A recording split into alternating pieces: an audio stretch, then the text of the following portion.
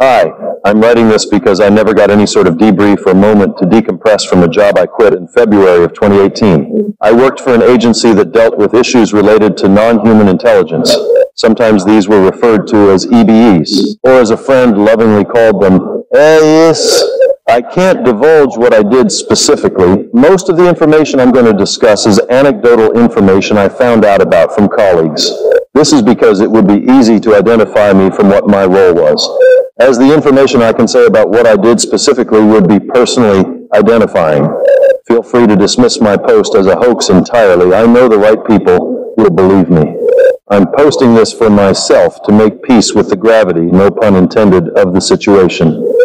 I tried VA and independent therapy, but divulging this sort of information to a hipster trained in active listening probably wouldn't go well.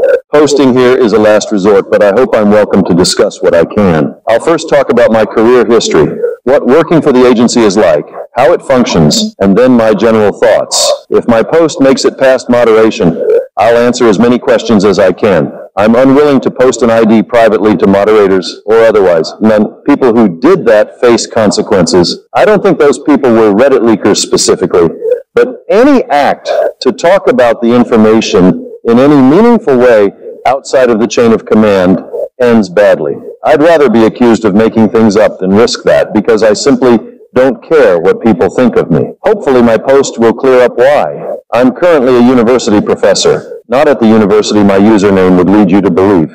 I was inspired to write this post when one of my students referred to me as verbatim a dude who has to know about aliens. If only he knew that wasn't even the start of it. I graduated from college in the early 90s with a degree in something I'm passionate about but never used. I started my career as an assistant for a mechanical engineer at an aerospace contractor I got after working some connections I had. Entry-level contractor jobs are easier to get than you may think. Well, maybe not if you posted here. I eventually was a project manager overseeing a small team working on experimental aircraft. Over the course of my career in aviation, I worked at three different contractors. I was on some of the teams working in autonomous flight in Nevada, among other places. I'll share two major things I noticed that, looking back, could be related to NHI research. It was a sort of open secret I was let in on at some point in the late 90s that if a large-scale invasion or threat to the mainland U.S. were to materialize, the U.S. had an ultimate trump card of sorts that would render everything we were working on as completely obsolete. Jokes like, well, work smarter, not harder on X, because if it were to come down to it, we wouldn't use that technology anyway, weren't uncommon. I assume this was referring to nukes. Later, I spent time doing inspections at various secret facilities due to my standing in particular agencies. If I'm identified, I will definitely lose that standing, so there's that. This was not as exciting as it sounds. It was very technical and boring. I was mostly just a glorified HVAC inspector. I visited a handful of facilities, but two of them in particular stood out as there were areas within them I wasn't allowed to access. The first facility, the scope of my job was to inspect the entire location. One area had its own security who, after a long discussion, basically told me to kick rocks. My boss wasn't authorized to let me through either. I wrote a scathing report about this incident in my overall assessment of the facility, and my boss erased it from the document entirely. The situation at the second facility was similar. I'll admit I was what I guess the my students call a Karen about it. I knew that whoever was operating these areas was working completely out outside of congressional regulation, which, while it does happen in certain sectors, is really not a good look. Once I got the job I'm talking about, I was able to confirm the second facility was related to NHI research. I was never able to confirm the first was. After a teaching stint, I was offered an interview for a position in my project management roots again, near where I was living at the time. I wasn't told what I would be working on, which isn't uncommon. I was excited to get back to work because I had been working on goal oriented drone swarms in my free time and assumed that's what the interview would be for. The interview took place in a SCIF in someone's house. Looking back, this was most likely a house that wasn't lived in, but just used for the purpose of interviewing potential hires without giving away the location. It's also likely this was the location because this agency doesn't exist in any official capacity. Yes, it has a name. It gets sort of kind of funding. Saying the name would get me killed. I, I wish I were exaggerating. I was told the name uh, at the start of the interview, and I had never heard of it before. I've never even said the name out loud. Paradoxically, even though the agency doesn't exist, if someone knew the name, it's likely a paper trail exists through publicly available documents. A lot of the information isn't classified because the agency is so secretive.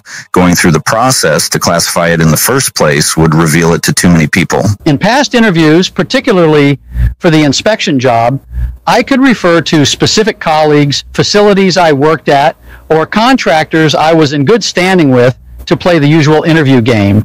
In this interview, I was treated like a brand new hire. While I was already offended about how I was being treated, the interviewer started grilling me about my love for Star Trek and said that theatrics wouldn't fly in the position I was being interviewed for.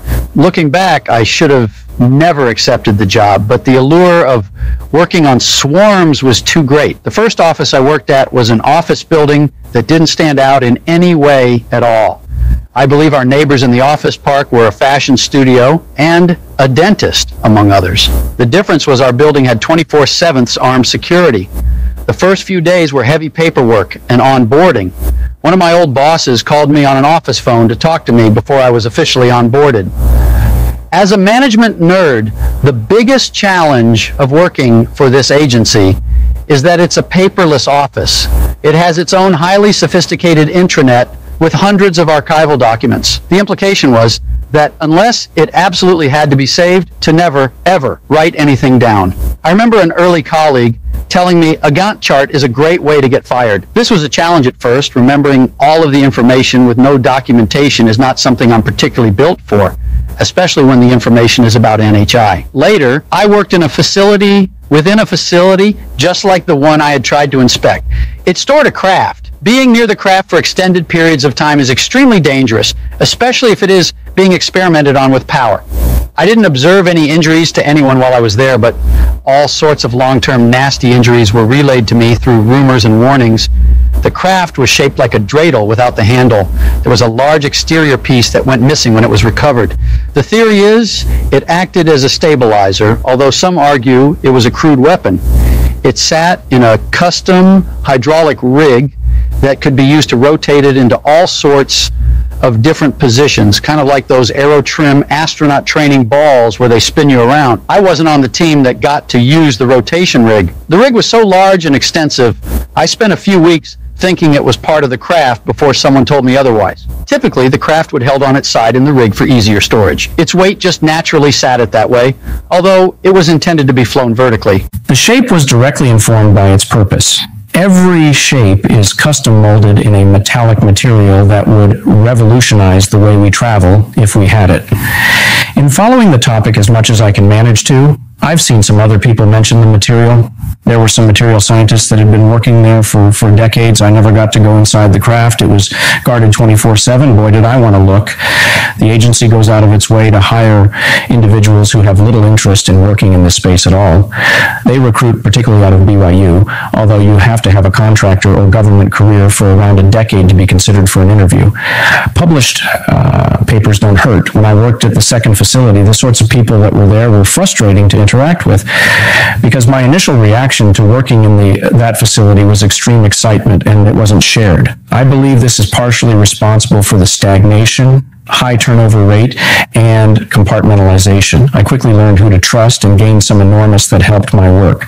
Part of why I'm being secretive about my ID is because the turnover rate results in a sort of summer camp work environment.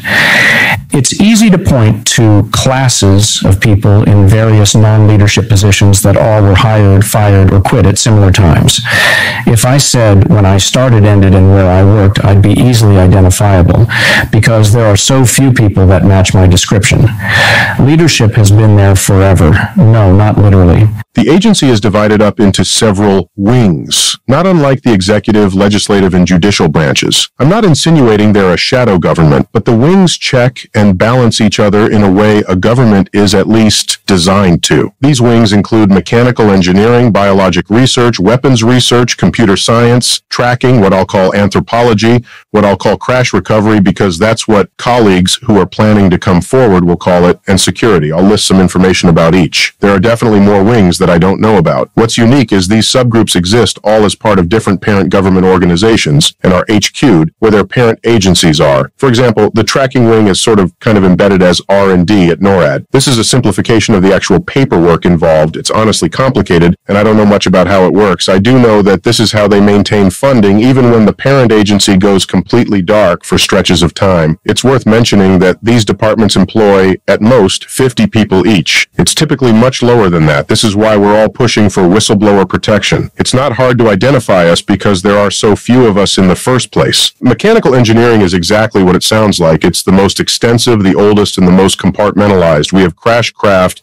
in various states of complete. We had a recovered craft that worked almost perfectly that was shot down by ourselves. I saw this coming, and it's part of why I quit. There's a lot of information about this wing in the public sphere. Part of their job is to determine what each shape of craft is used for. This is an important job because we're unsure of NHI's intentions. If we discover the designs are intended to hurt us, action will have to be taken. I don't know what that means in practice, but it's what the engineers mostly study. Consider this lecture around the 10 minute mark about the differing characteristics of an F-22 versus a passenger plane. Now imagine figuring out the purpose of the passenger plane versus the F-22. Since we're humans, and those are human designs, eventually a team could figure it out. It's not as easy when the designs aren't for us, or purposes we fully understand. Triangles are the most impressive design, and we don't have one. It's likely China does. Leadership is mad about that. This team discovered a long time ago that the reason why craft appear so bright to us humans is because it's not really light, but rather the product of the crazy amounts of power these craft require, sort of like smoke coming out of an exhaust pipe. Biology is something I personally suck at. Even at the high school level, I can say the NHI looked like the aliens from Close Encounters. As far as I know, we never had one alive. My source who told this was unsure if it was true or not. I didn't learn much about this wing. It's the most secretive. I do know its HQ is hidden in almost plain sight. I still feel like the guy who told me where it is had to be lying because it was just too obvious. There are bodies stored in other locations apart from their main HQ. Weapons research is a large wing and is fairly new. It was absorbed by the Space Force when it, the SF was created. Frustration with the SF as a whole is part of why I left shortly before it started. I don't know much about it. It has a high turnover rate and is dangerous to work in. People were injured and compensated by a large private aerospace contractor instead of the USG. Its main job is to strap a nuke to a reverse engineered craft and just see what the hell happens. Computer science is, or was, it may have moved after I left, HQ'd at a facility in my home state. This is rare because most of the other wings are within a stone's throw of DC or Nevada. This is mostly based around researching the craft's navigation system. The navigation in every craft is the same. Craft use a system that originally befuddled generations of researchers, but it's essentially a 3D Dijkstra algorithm. It finds points around the craft and chooses the most efficient possible route through space-time to get to that point. Some of the parameters it uses to gauge efficiency are totally unknown to us and are a serious point of contention. It's not autonomy, but rather obstacle avoidance, not unlike what you would see in a self-driving car, but the self-driving car could go through air, space, and water without worrying about what medium it's in. Additionally, the algo accounts for the craft's place in time. I don't think this means that the craft time travel in the way we think they can, but rather go so fast that they experience dilation and can hit objects in the future, and potentially past at their target destination. It's possible they do this on purpose sometimes. I don't know much about the internal programming of the computer or how it actually does any of this. There are a few senior scientists that hold that information dear. One of them jokingly refers to it as IAC, as in C for NHI. I know that he doesn't work with a computer, only a pad of paper and pen. Although the algo is extremely effective, nuclear explosions and experiments somehow interfere with this navigation. Craft particularly avoid Diablo Canyon even if we put something they really want there. They mostly avoid previous crash sites as well. More on crashes later. You know, speaking of avoidance, tracking, like I mentioned, is or was part of NORAD. The NHI deploy craft of various shapes and sizes all the time. I don't want to claim that they have advanced cloaking techniques, but from what I heard, the tracking department basically is in an eternal game of cat and mouse. They don't have adequate technology to track the transmedium craft. All I would say on a record is NHI know we can track them and know how to avoid us. They usually avoid detection by going underwater, especially in the case of particularly large, by human measurement, enormous craft. It's interesting that historical UFO designs mimic the design of buildings and vehicles of that time period. Whether this was just humans not being able to reference what the designs look like or a form of mimicry is anyone's guess. Someone in leadership knows the answer. I don't. It's important to note not everyone at NORAD was part of the tracking team, but the tracking team is embedded in NORAD and interfaces with them on a minute to minute basis. This leads to scenarios where NORAD will report an object and the tracking team will silently acknowledge but give no explanation. This led to a catastrophic incident that happened after I left but knew about from a colleague. Supposedly tracking is being moved to the Space Force to clear up these miscommunications. If I were working there, I would probably be working on that onboarding process. NORAD was moved to Cheyenne not only to protect from a foreign adversary, but also because the facility is uniquely equipped to track NHI craft. The wing I called anthropology is the weirdest one by far. It focuses on a few different things. They originally studied NHI's intentions and culture, if it's possible to call it that. The reports I read from this early research changed the way I see the world. Anthropology and computer science were at one point decompartmentalized to study how the NHI interact with the craft. The NHI are linked to their craft in a way that borders on biological. The actual way they interface with the components of the craft is not as sophisticated. Take this video. Although it's an immature video, the way he interfaces with a piston that moves the gas pedal is similar, albeit much simpler, than the way NHI interact with their craft. They send signals using their body to systems that control the craft. It's hypothesized that they can and prefer to control craft remotely, but I'm not sure if we were really researching this. Take note that if the driver of the jerry rigged death trap in the video panics, the car would accelerate due to heightened brain activity. When people wonder how a superintelligent being can crash, this is part of the answer in conjunction with the navigation system malfunctioning. I personally don't think the NHI feel stress as we do, but if they heightened their activity and overrode the pathfinding system instead of letting it do its job, there could be an accident. A smaller subset of this wing focuses on how humans can interface with craft that are currently in the sky. If you see an image of a large disk above a gas station in the snow, it was someone in this department summoning a craft, not unlike how cheap RC car controllers can interfere with each other when used at the same time. Some people are better suited to interfere with NHI craft than others. We're not sure why.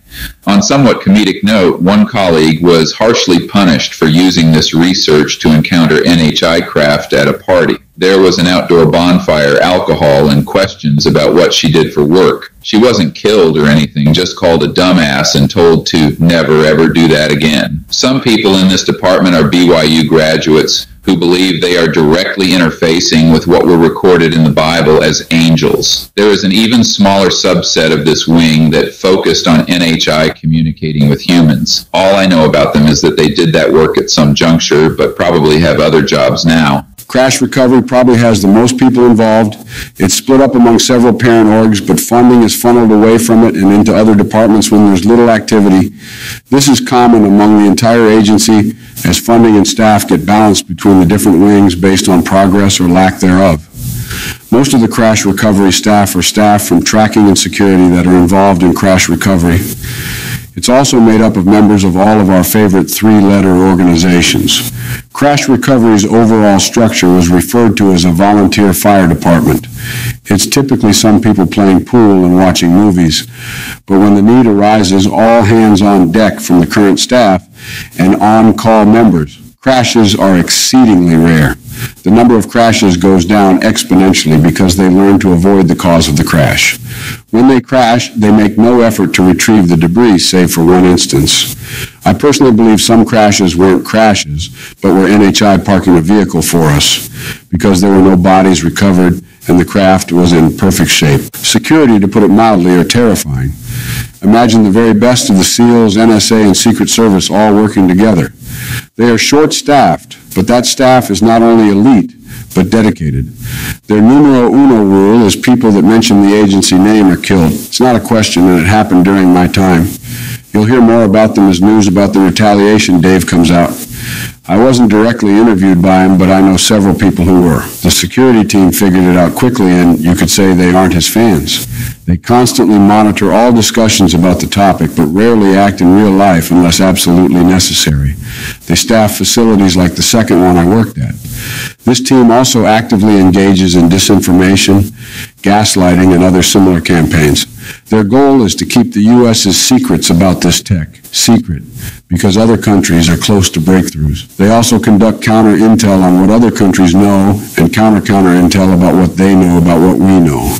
Not to sound crazy, but the security team will see this at some point or another, so a friendly hello to them can't touch this, but I sure hope. I have a hunch that the current public-facing task forces are actually their own wing within security.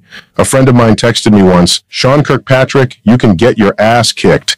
Ha, don't confuse these public-facing task forces with the work Dave and co are doing. Dave is the real deal. I should mention that leadership is kind of its own wing. It's not on paper, but they operate above all of the other departments. Leadership is made up of managers who pay close attention to each wing, they discuss info they know, and bring up contradictions to upper managers. I don't know how far this chain goes up. I reported to someone who reported to someone. I believe it goes higher than that. I have no idea who is at the top or what their credentials are. I suspect they're in the private sector, with their bankroll disguised as R&D for government contracts. Leadership, honestly, made the right choices with the information they had, at least when I was there. Some bad people started to get in charge and change the way things worked among the middle managers and individual teams. This pissed people off and led to multiple catastrophes. As far as I know, they faced no discipline, so that was exhaustive. Those are the wings of the agency that I knew about during my time there. It feels good to get this off my chest. I've been sort of keeping up to date on the topics coverage in mainstream mainstream media and want to give some of my thoughts on this. If the U.S. comes out directly and says,